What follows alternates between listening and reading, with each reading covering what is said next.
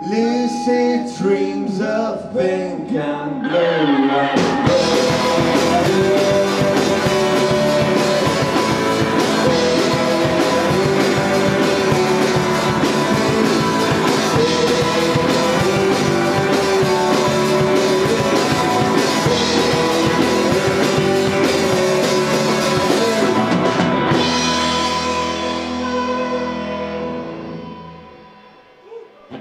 Köszönjük szépen, 2011-ben éreztem magam. A következő száma nem sokára megjelenő új kislemezünk A oldala, és Pestalics Dénesnek szeretnénk küldeni, aki ma már el is küldte nekünk a végső master. Nagy tapsot neki!